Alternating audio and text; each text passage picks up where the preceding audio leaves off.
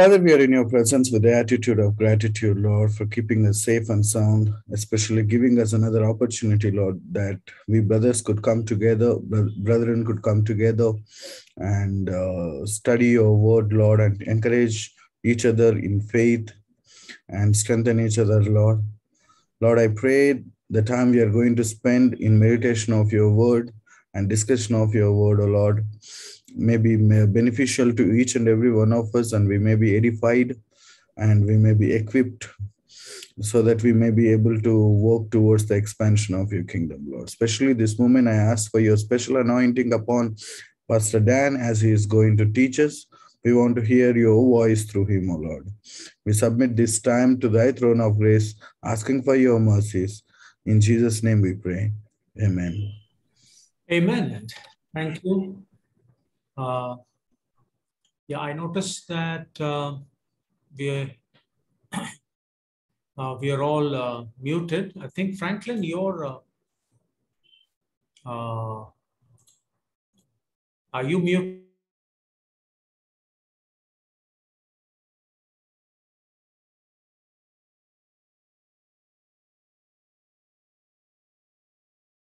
Today, as you as I wrote in the group, we continue the uh, story of the church, as I title it, or you can say church history. We're going to continue to see how the church, uh, through the ages, developed, especially its theology. Uh, and very clearly, we can see how God was continuing to lead the church in progressive revelation, as we said. You know, no point in time, everybody knew everything. But for some reason, God decided to slowly reveal uh, more and more and more about Himself and about doctrine, about uh, ourselves as human beings. And so uh, uh it's just amazing to see how, um, you know, our belief system developed over the many, many centuries. Sometimes I wish it was much faster, but you know that is how we wish. But God has His own plan and His own time frame that He follows. So today we are moving into the fifth century of the church. Can you believe it? 500 years since the church was established by Jesus Christ in, you know, uh, you know, 500 years before. And one of the things that seem to have continued to dog the church in terms of controversy is the uh, nature of Christ, right? Uh, is Jesus fully God? Or is he fully human? Or is he both? or somewhere in between?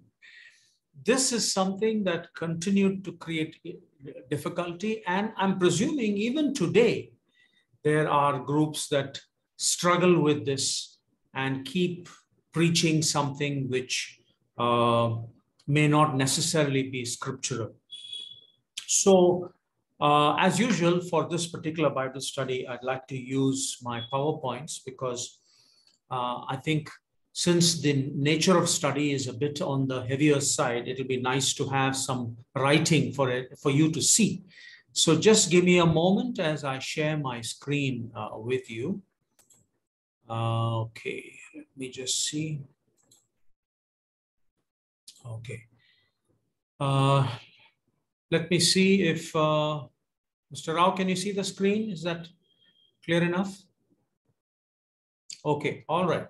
So you see on the screen, uh, yeah, thank you, Praveen, uh, that we are going to discuss two nat- these two natures of Christ. Uh, like I uh, said earlier, uh, is he fully human or fully divine or both or you know somewhere in between? Um, and what I would like to focus on as we do this study is move towards this particular council called the Council of Chalcedon. Uh, which was uh, convened in 451 AD. So we are right into the fifth century. All right.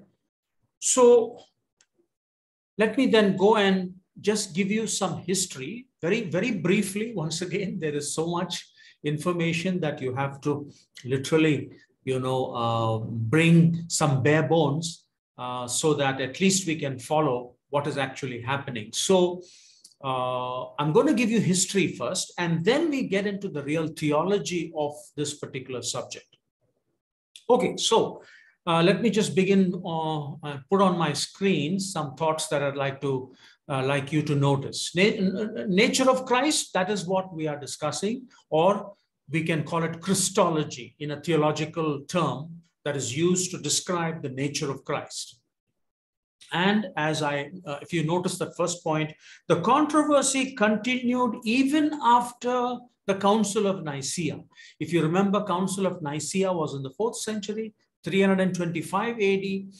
Uh, they discussed whether Jesus was the same as the Father. And then, of course, later on, even the Holy Spirit came in. Uh, so the nature of Christ was constantly being a problem for the many, you know, uh, for the church as a whole. All right. If you notice, uh, let me see. In AD 381, you had, before the Council of Chalcedon, you had the Council of Constantinople. Remember, this was several years after, cl close to 50 plus years after the Council of Nicaea. What happened in the council, or rather, why did the Council of Constantinople uh, come about?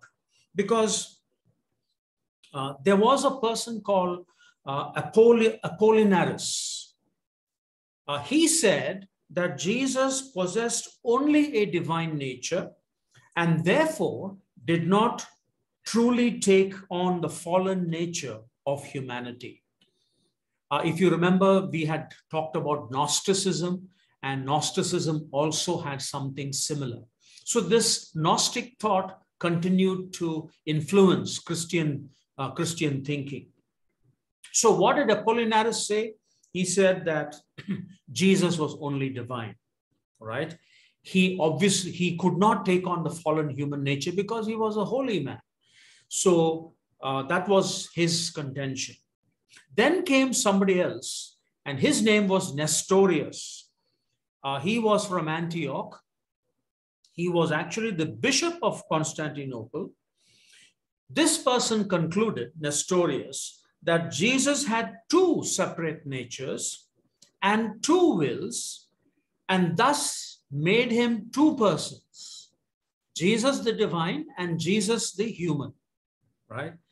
He was a double being, he said one divine and the other human, sharing one body. So he was in one body, he had, uh, you know, uh, two natures, two wills, two persons. Now, once again, that caused some problems. Uh, and of course, what did Con Council of Constantinople decide? They rejected the teaching of the bishop uh, or, you know, Apollinaris. Basically, Apollinaris was, uh, you know, sidelined and he said, no, we cannot accept what Apollinaris was saying. Remember, Apollinaris only said that Jesus was only divine. Now, I'm just building up towards uh, the Council of Chalcedon. All right. Uh, the controversy, like you see on the third point in my in my uh, uh, slide, the controversy went back and forth, and even emperors began to be getting involved. Emperors started siding one bishop or the other, and hence gave them, you know, uh, gave them uh, the strength to either disfellowship or, uh, you know, uh, or rather remove somebody or or or or or uh, remove the teachings of somebody. So there was this constant controversy going on. And if you notice, I in the third point, I uh, put it in invert. I mean to say in uh, uh in uh, what do you call it? I'm missing out the word in brackets. Unfortunate. The reason I say that is because when you see when you get emperors getting involved, when you get the state, when you get the government getting involved in church matters, it can become very, very uh, complicated, extremely difficult to carry on the work of the church. And in particular, if you notice what is happening in Ukraine today, with a little reading I have been doing, uh, apparently the Church of Russia, the Orthodox Church of Russia, uh, is very much involved and is also having a problem with the Orthodox or the, the Ukrainian Orthodox Church. And, and part of the war is being is being blamed on actually the fights that is taking place between the two Orthodox churches. And once again, the emperors getting involved, the state, the, the, the state getting involved, and causing many, many problems. Anyway, I'll leave it at that. Uh, you probably already have been reading that uh, the unfortunate circumstance of how the church and the state go hand in hand and then they even lead to war the killing of people and i can't imagine how the churches can tolerate that. But the, uh, the, the, the patriarch or the head of the russian orthodox church is very much involved and hand in glove with the authorities that be and you know who we are referring to and causing or rather encouraging some of these horrible things taking place in uh, the war, especially in Ukraine. Anyway, this, like I said, the controversy went back and forth. Then came in 440 uh, a, a, monk, a monk called Eutyches. Eutyches also had his own thoughts about Christology, and he said he denied that Jesus was truly human right? He taught that Jesus did not exist in two natures because his human nature was absorbed or swallowed up by his divine nature. So here is another teaching. One says he is not divine. One says he is only human, uh, or rather, uh, or rather he is both, but in two persons. And then here comes another person saying the human nature is completely dissolved in his divinity and hence he has no humanity at all. He is only divine. Okay. So these were what led to, this was what led to the Council of Chalcedon in AD 451. All right, so let's go now to the Council of Chalcedon. Let me rehash some more of the history and then we'll get into theology proper. All right, Council of Chalcedon, 451 AD. Uh, they discussed this controversy. They wanted to, uh, then they came out with what they call is the Chalcedonian definition. All right.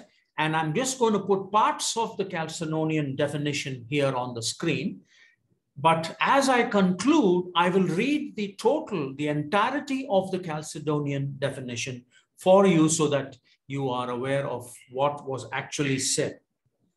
Okay, so uh, uh, parts of the Chalcedonian definition is that one of the things they said is Christ is complete in Godhead and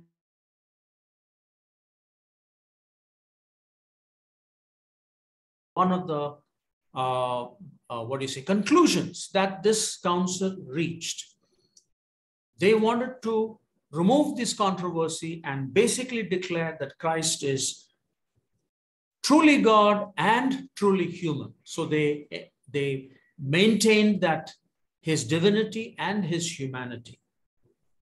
They also said the characteristics of each nature, that is divine and human in Jesus Christ, preserved and coming together to form one person and one subsistence, or rather, and, and subsistence, or substance, you could say, right? So they went against Eutyches and said that, or rather, they went against Nestorius and said that there is only one person. Jesus is only one person, not two persons. Right? So this is another conclusion of the, the Chalcedonian definition. And uh, one more, uh, two more thoughts. It also said they are not to be separated in two persons. Once again, if you remember, Nestorius said this. And uh, one more thought here one person who is both divine and human. In other words, they maintained a distinction between his divinity and his humanity, but in one person. So, this is what uh, some of the Chalcedonian definition uh, decided on and concluded with, which I will read to you a little later in its entirety. Let me just also give you some more thoughts with regards to the history with um, uh, what happened in the, Cal uh, the Council of Chalcedon. Uh, they also considered uh, some of the teachings of the fathers, of the church fathers. Now, let me also say that the gospel, the Bible, the, the, the gospels especially, were very much part of their study in the council. And they decided also along with some of the uh, church fathers. And one of the influential persons that they referred to was Gregory of Nazianzus. Once again, you might recognize that name, one of the more uh, respected church fathers. Also, uh, very Trinitarian in his, in his uh, theology and his thinking. Uh, Gregory of Nazianzus said the following That which he, that is Christ, has not assumed, he has not healed. But that which is united to his Godhead is also saved. In other words, uh, once again, I'm sure you have uh, heard of this particular quotation from uh, Gregory. What he's saying is if Christ did not assume human nature, like was uh, one of the controversies, then he has not healed us, right? And uh, he had to assume the fallen human nature. In other words, this is one of the uh, one of the uh, you know uh, influences that the Council of Chalcedon considered, so that they could understand that Christ had to assume the human nature. All right, and uh, this was being consistent with the gospel message that Jesus Christ assumed our fallen humanity in order to save us. Christ had to assume our fallen humanity, not just our humanity, but our fallen humanity. If he had to heal us, if he had to redeem us from our fallenness, he had to get into it. He had to assume it. He had to take it upon himself. And that is the reason he died, so that he could defeat the fallenness in that death. One more thought from Gregory is also very interesting. Uh, he also said, What he was, he remained. What he was not, he became. In other words, Jesus, as the Son of God, the second person of the Trinity, remained as the as such, the begotten Son of God. He did not change, right? And what he was not, he was not yet human. He became. So uh, Gregory is maintaining, retaining the divinity and the humanity of Jesus Christ. So what he's basically saying is that Jesus added to his divinity uh, the human nature. To his divine nature, he added the human nature, right? In other words, when he, in the incarnation, when he took on flesh, he did not cease to be divine. He did not cease to be divine. His, human, his divinity was very much there. Now, what is also important to notice is that the divinity and the humanity had to remain distinct so that he could save us, you know, who were fallen human beings. You see, if like one of the controversies was that his humanity, or rather our humanity, was swallowed up in his divinity. If that is true, then there was no humanity for Jesus to save. You know, if the humanity is cancelled in his divinity, then there is no humanity left to be saved. And that is what the church fathers reason and the church council basically decided on. Anyways, that is some of the history that I wanted to bring forth. Now let's get into a, a little bit more uh, of heavy of heavy stuff, and that is the theology. The theology of the two natures as we in GCI today understand, right? So we, we've had to restudy this particular subject. And so uh, we had to do our own research. And one of the persons who has helped us in this research was Dr. Gary Dedo, who is uh, now retired as the president of Grace Communion Seminary, uh, or rather are going to retire, I'm not sure, but uh, uh, he uh, did some of his, uh, you know, he did, he helped us with some of the study. But before we get into what I want to share with you, let us revisit this controversy. What is the controversy? Now let us just uh, um, refresh our memory on exactly what is the controversy that we are discussing. Number one, one of the controversy was that Jesus was only divine, did not take the fallen human nature. That was one of the controversies that the council had to talk about. Another controversy with regards to the to Christology or the nature of Jesus Christ that Jesus had two natures and two wills, divine and human, and hence he was two persons in one body. He was a divine person as well as a uh, as well as as well as a human person, right? And so sometimes the divine person acted, sometimes the human person acted, and so that was another controversy that the council had to discuss.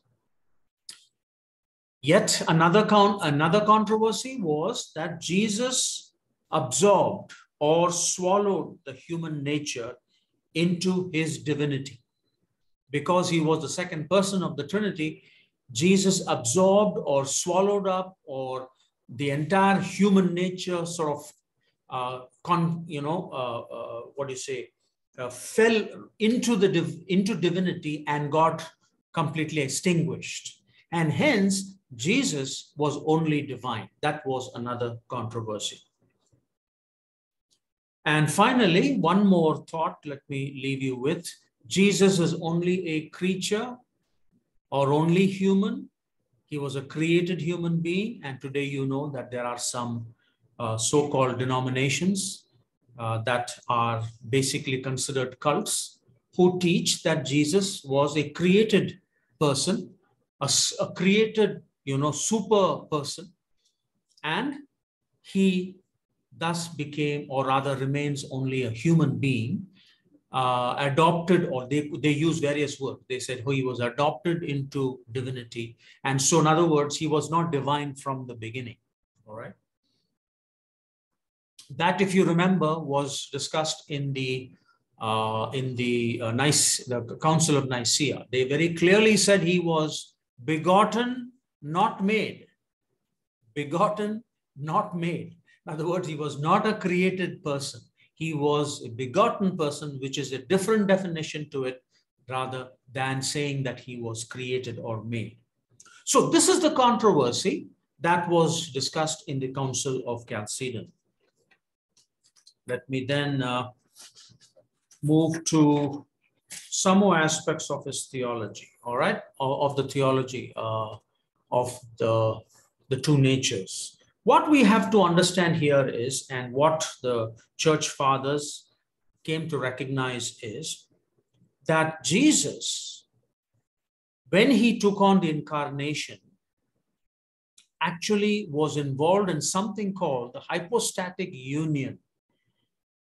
When he took on flesh there was a union of divinity and humanity, and it is called the hypostatic union. The word hypostatic is from the Greek hypostasis, which could be understood as either nature or substance to some extent, or maybe an image or essence or person. I think the especially in the uh, Latin, they try to recognize hypostasis as mostly uh, as a person. Now, this is, let if, you know, once again, uh, getting into theology, uh, this is distinct from uh, homoousios. If you remember, I think when we discussed the Council of Nicaea, uh, we also used another Greek term called homoousios. Homoousios also basically means substance, right? So hypostasis is mostly pointing to the person of Jesus, the person, and homoousios is pointing to the substance. Okay, in other words, um, the word hypostasis and homoousios convey the reality revealed in the scriptures that God is one being, one homoousios, and three hypostases, three persons. All right. Now, I hope you can wrap your head around that. He is three, or rather, he is one in being, but three in persons. That is how we get this entire Trinitarian concept. All right. God is one being, therefore, he is one God, and yet he is Father, Son, Spirit, three persons as Father, Son, Spirit. All right. Uh, the early church had this theological consensus and used the word hypostasis, or, or rather person, which means person, to refer to the three personal and eternal realities that stand forth in distinction and in relationship to each other in God's one homoousios. All right. So let me come back to the subject. Two natures, Jesus Christ in the incarnation, taking on flesh. Is, it is called Jesus as the second person taking on flesh is called the hypostatic union. What does this mean? This means he is of one substance or homoousios with the Father as regards his Godhead, and at the same time of one substance with us as regards to his humanity. So this is where the two natures uh, come together, right? He continues to be one substance with the Father, but he has taken on to be one substance with us with regards to our humanity. What are we saying? In short, like we always say now, he is fully divine and fully human. 100% human, uh, divine and 100% human, right? In other words, this is another example of unity in diversity, or rather unity with the distinction of the two persons, right? The person of the divine person and the human person. If I can explain that further, the divinity and humanity does not collapse into one nature. Jesus distinctly has two natures, divine and human. All right? There is no conflagration. There is no collapsing into the two. The union does not does not uh, erase the distinction of humanity and divinity. Right? Or in other words, if you can look, note, notice that last uh, line, Jesus did not turn into a third kind where he became neither divine nor human. So, what is Jesus? He is both divine and human, but one person. This is the controversy that was discussed and the theology of it. All right. Okay. If I can just uh, quote to you one of the one one of the quotations from Gary Dedo's thoughts with regards to this particular subject, let me just read to you, and then we'll uh, then I can just make some comments. Uh, this is what uh, Gary Dedo says, or how he puts it. He says, the union of the two natures in Christ is a dynamic communion in personal relationship, a dynamic unity where the love of God for humanity and the love of humanity for God meet. The salvation worked out in Christ is the work of the person of the Son of God, bringing his human nature into right relationship with the divine nature and so into reconciliation with the Father, thus making the human nature ready to be indwelt by the Holy Spirit in a new way, which we would refer to as baptized by or in the Spirit. All right, there's so much to unpack there. But if you notice, one very important word that we, from a Trinitarian perspective, constantly use relationship, right? Relationship. That is something we must understand very, very carefully. That is, when we understand this whole concept of relationship, then even the Trinitarian concept can be, you know, uh, become a little bit more easier to understand. Not that we can understand it in its fullness, but it can be a little bit more easier to understand. But notice one thing, incarnation. Jesus Christ, uh, you know, uh, is his divinity and now taking on humanity, right? And that remains distinct. It is not erased by one another. It is a dynamic, dynamic union in relationship. It's a relational union that brings out the love of God for humanity and the redemption that Jesus uh, accomplishes for humanity so that humans can love God. And that is what salvation is all about. The salvation, as it says, worked out in Christ is the work of the person of the Son of God, that is divinity, then bringing his human nature, that is his taking on humanity into right relationship with the with the Father. And here something is very important. So this is why we say, by the way, there is a there is a spelling error there. I'm sorry for that. Person of the Son of God. This is why we say that uh, uh,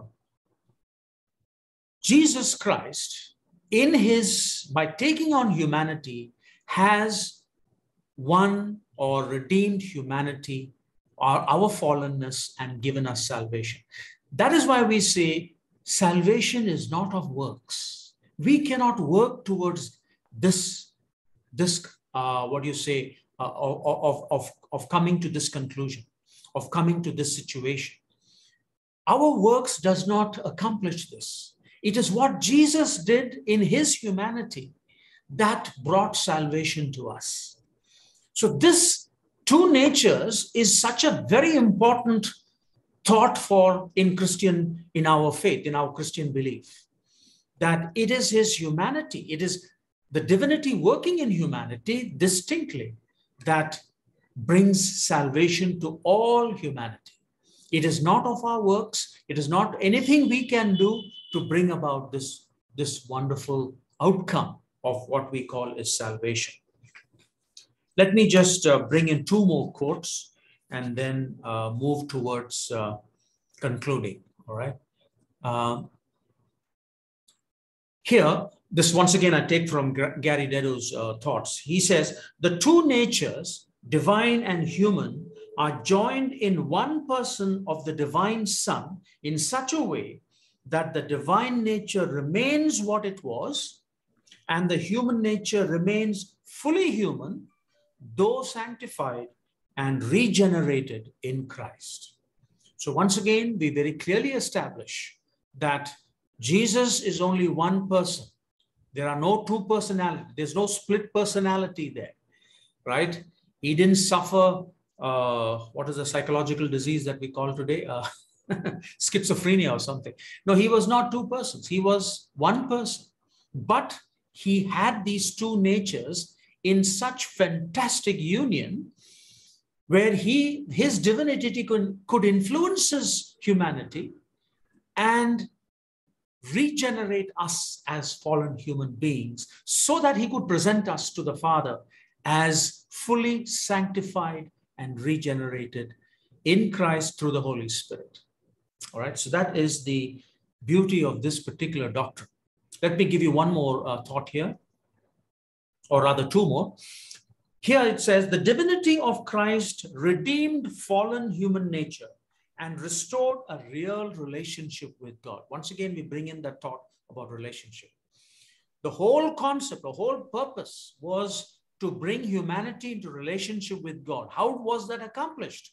That was accomplished by Jesus Christ coming in the incarnation and taking on a fallen humanity, not erasing it, not canceling it. You know, we, he didn't uh, introduce the cancel culture that we talk about today, but he sanctified it, redeemed it, and brought us into a restored and a real relationship with God, with Father, Son, Holy Spirit, right?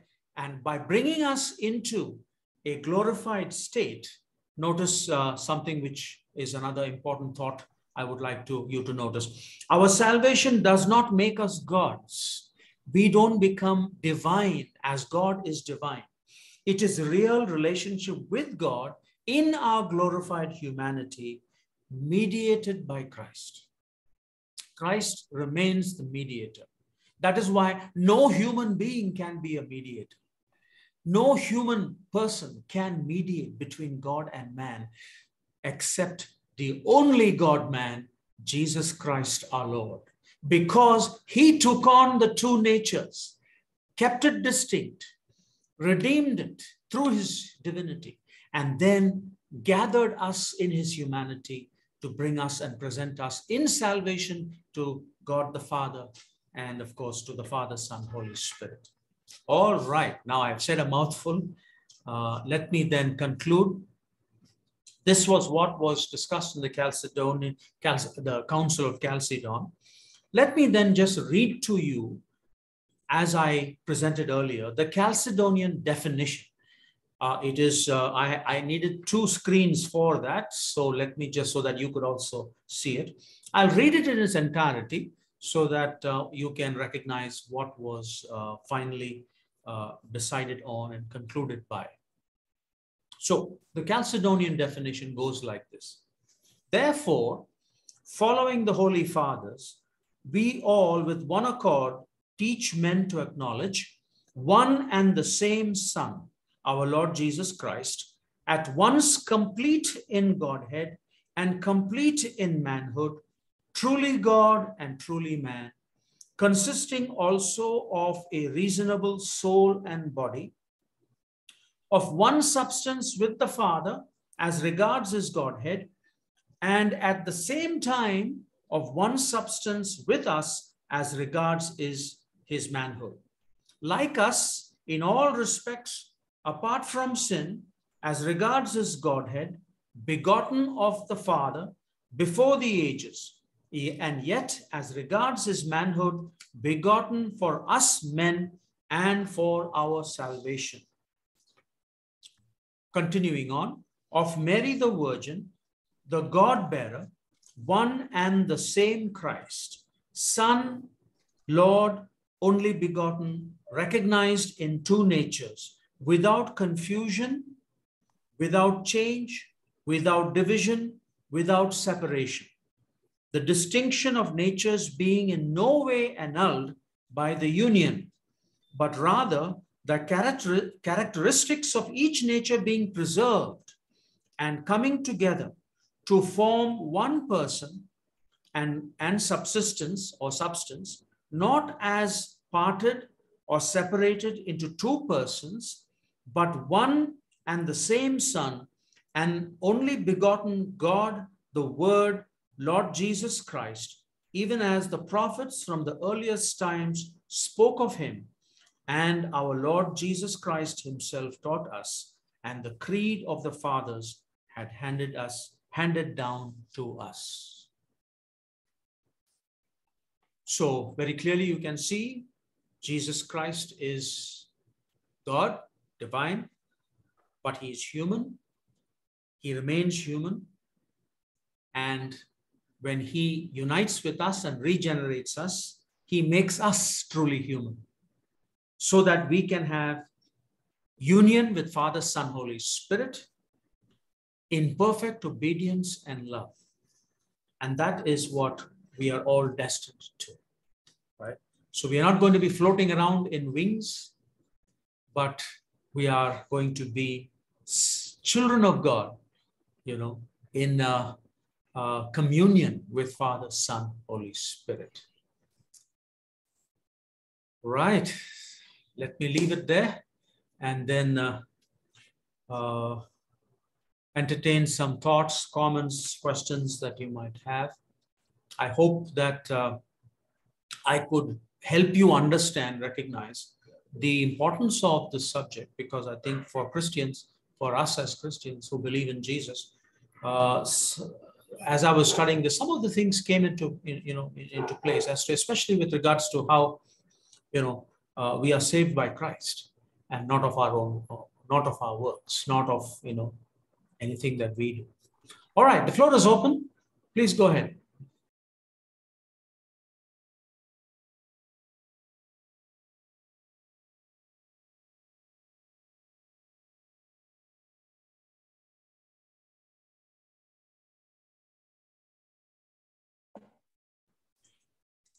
Yes, sir. Surya Murthy, I think you are the you should break the ice. You normally do.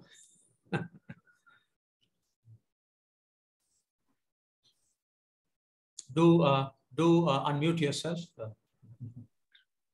What remains in our mind always is when Jesus was a human being walking in Palestine,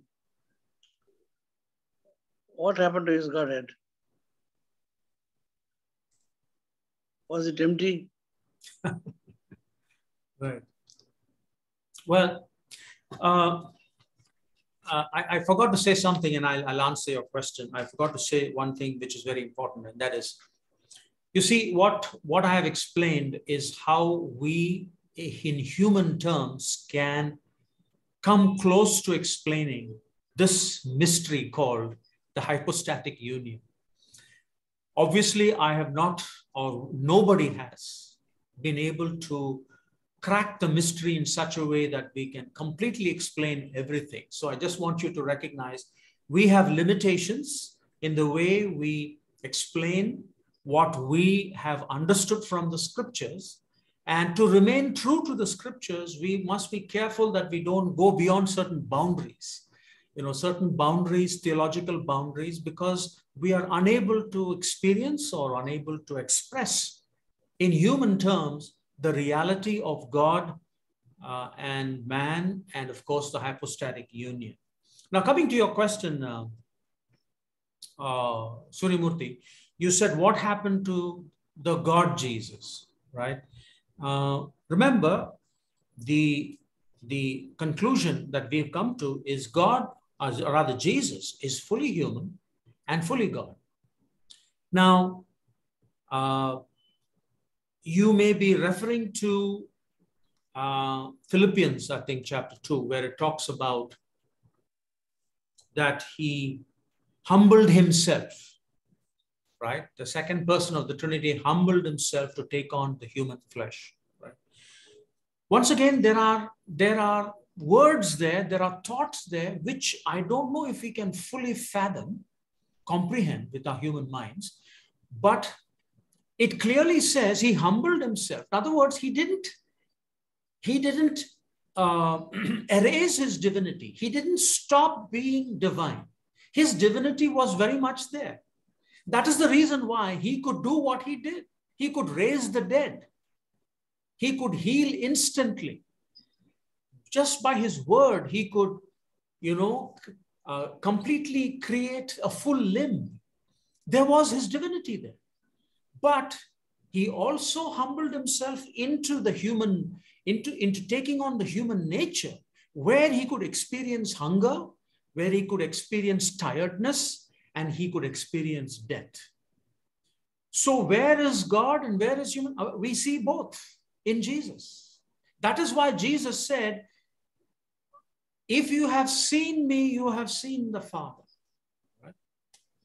Bertie, you had a thought. The Godhead was in Christ Himself. Okay. All right. Would you want to say something uh, more? There is, uh, the, uh, the talking, just to uh, tell Surya Murthy, as much as I understand, there's no emptiness in the Godhead. the Godhead was in Christ. When we say Father, it's the Son and the Holy Spirit. When we say Holy Spirit, it is the Son and the Father. When we say Son, it is the Holy Spirit and Father. Uh, in Scripture, it's mentioned the Old Testament, even uh, His name shall be called, referring to Jesus Christ. His name shall be called the Mighty God, the Everlasting Father, the Prince of Peace, Wonderful Counselor.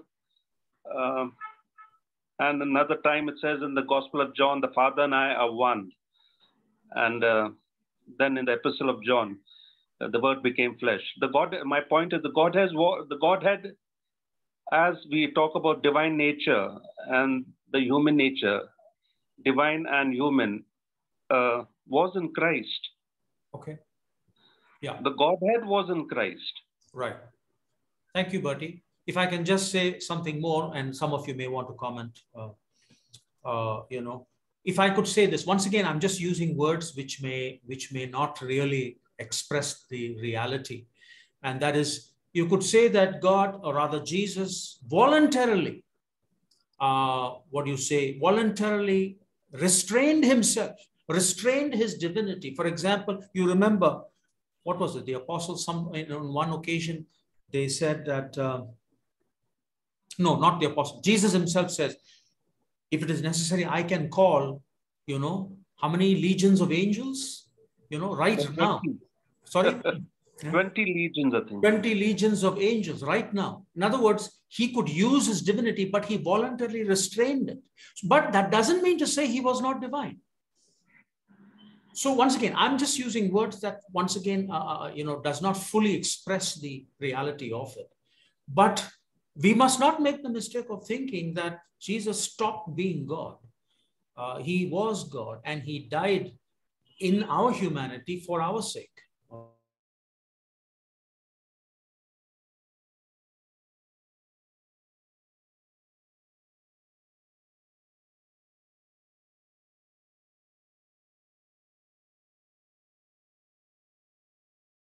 Murthy, I mean, uh, does it make any sense or uh, am I, have I lost you?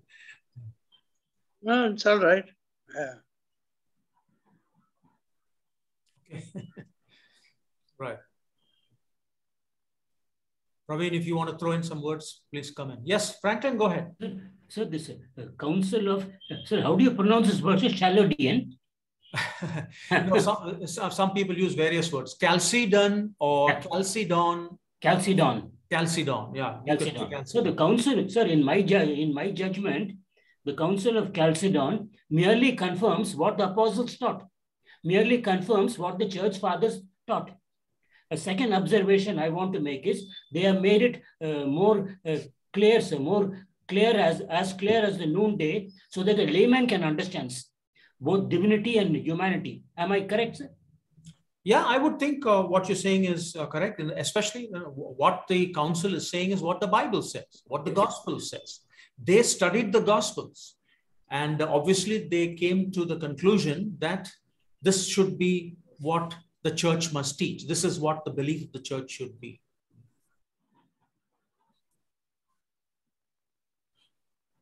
On a lighter note, who were the emperors who got involved? Oh, I didn't write down the names, but there were at least one or two, at least two emperors who constantly created some difficulties. They they started getting into the church, you know, influencing the bishops, uh, and uh, this is where uh, you know there was uh, great turmoil, you know, within the church because of you know when the emperor gets involved, obviously he comes with a lot of strength, and so how do you counter him? And this is what is, like I said earlier, this is what is happening now the Russian Orthodox Church, the, the head of the church, Kirill or something his name is, uh, is very much a lackey of Putin, who is, uh, you know, very much influenced by what he is saying, and he is trying to punish the Ukrainian Orthodox Church because they declared uh, they declared some kind of separation from the Russian Orthodox uh, and I don't know the, all the ins and outs of it, but uh, there is one of the reasons for this conflict is probably also influenced by this. And that's so unfortunate that Christians fight Christians and kill Christians.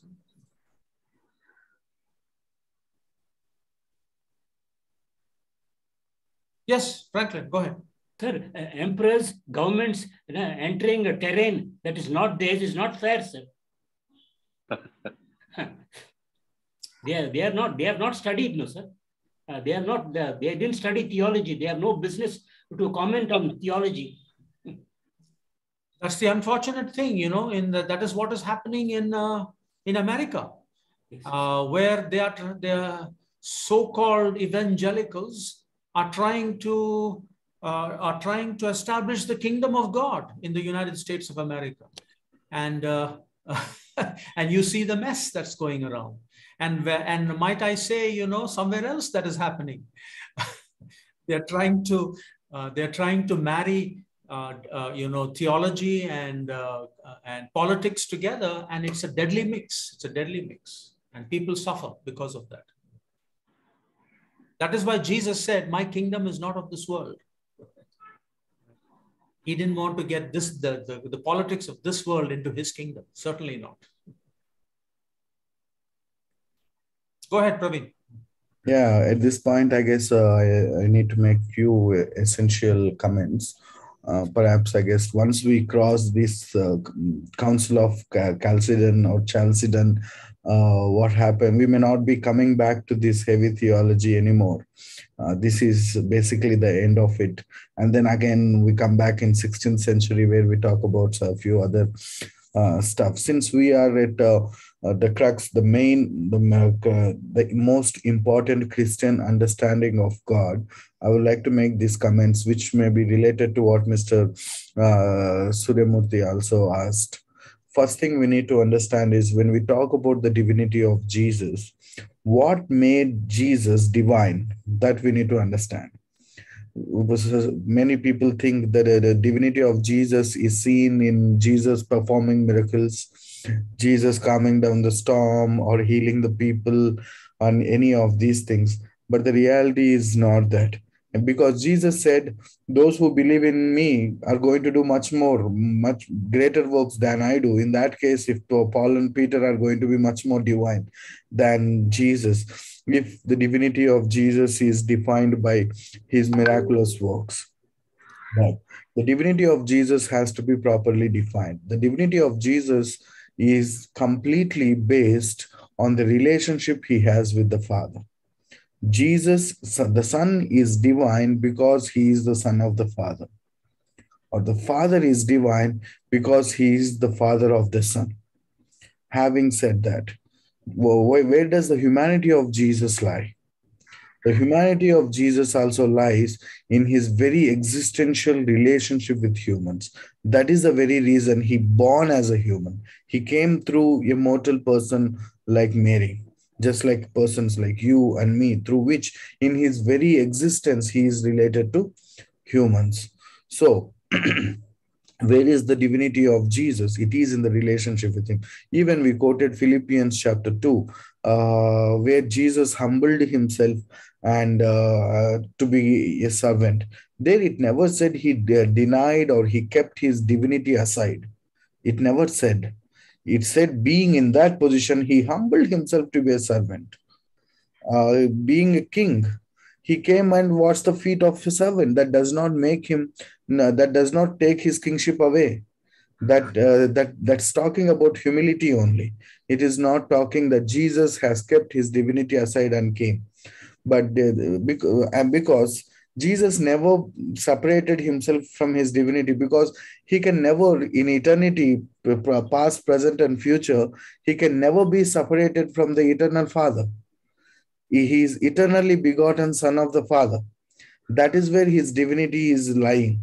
So forever he remains divine uh, as the quote was well quoted by uh, Gregory of Nazianzus, who said, "He has taken which he which he didn't, which he sorry he became which he was not, and uh, and then he remained which he is." That is, Jesus is divine, and no uh, even death cannot take it away from him because he is the son of the father that cannot be changed. So the divinity of jesus is completely lying on his relationship with the father. The humanity of jesus completely based on his very existence. He has taken a new existence uh, of like like you and me. And the great thing is for forever he is going to remain like that uh, otherwise jesus could uh, leave this body after his resurrection or right after his death but he did not do that. He remained as a man. That's where it shows the hypostatic union which he brought between the divinity and humanity. So the, the, this is how we need to look at. These are called actually in theological terms onto relationships they're called onto ontological which which means which are talking about the existence of somebody ontology means study of existence onto relationships. These relationships are defining the very existence.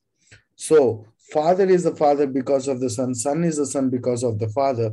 The divinity of the father and the son and the holy spirit it depends on the onto relationships they have between them. So which never which can which could never be broken. When jesus became a human he did not break that relationship. That's why he always called god as father. And uh, jesus when he died and resurrected also that, that did not affect him anymore because he is the eternal son of the father. That is that's one thing we need to understand. Second thing is as we christians we also many a times we make a mistake as we read the bible. When jesus performed miracle we think oh here we can see the divine jesus. Uh, we say and when jesus cried at the tomb of lazarus people say, you know, Jesus in his humanity, he cried. Otherwise, when Jesus prayed to the Father in the Garden of Gethsemane, if it is your will, take this cup away from me. Uh, where there we think Jesus in his humanity, he cried. No, there was no time where Jesus acted out of his divinity only or where he acted out of his humanity only.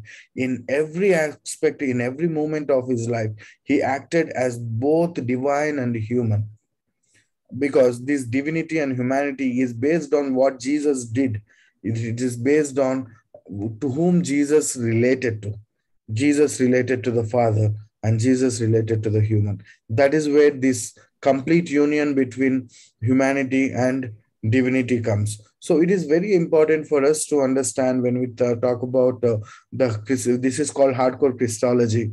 Uh, Jesus is 100% God and 100% man. And this is not based on what he did, it is based on who he became or who he is related to. So that is important. So if you look in those terms, I guess most of our confusions related to this matter would be cleared. I think that's well said, uh, Praveen one of the things I think maybe that uh, confusion comes is, uh, you know, um, in Philippians 2, some translation use the word he emptied himself. And when the word empty, some would translate as he gave up his divinity. I think that causes some confusion very simple thing we need to take is he is the only begotten of the father. He cannot become unbegotten by trying uh, empty, trying to empty himself. So the divinity completely is lying on his relationship with the father. Good. Any other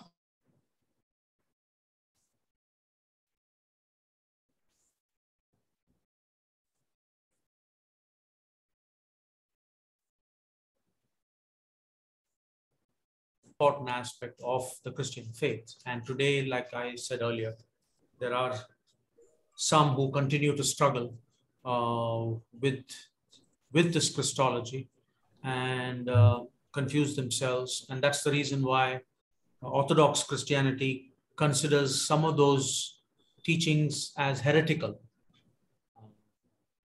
Anyone who says Jesus was not divine uh, will you know, become a cult according to us, according to Orthodox Christian uh, uh, thought. Yes, Franklin, you had a thought? Yeah. Sir, uh, the, he emptied himself. Uh, that means uh, Christ did not exercise his, his divine powers. Am I correct? Uh, uh, no, the, the word, I'm not sure what is the actual Greek that is used there. Uh, some say humbled himself. Uh, but uh, the, the, the thing is, his divinity didn't disappear. right? So that's what we have to understand. His divinity, he, he did not put aside his di- divinity. Uh, he continued to remain, he, he, he, you know, he is divine and will always remain divine. But he added humanity. He, you know, what he was not, he became like uh, Gregory mentioned. Right?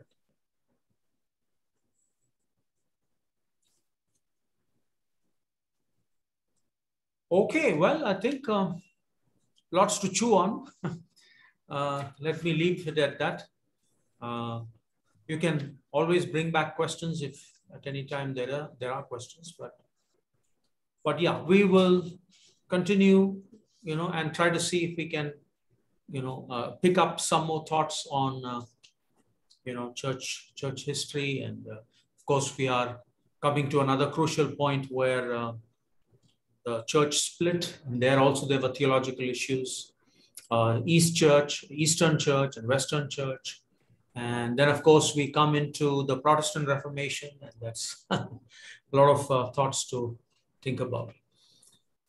Anyway, uh, thank you for joining us to this evening, and I hope uh, these uh, discussions continue to add to your knowledge and understanding. Uh, so let's close worship today, or rather Bible study today. And uh, may I go to Vanessa? If you could lead us in a closing prayer, we would be grateful.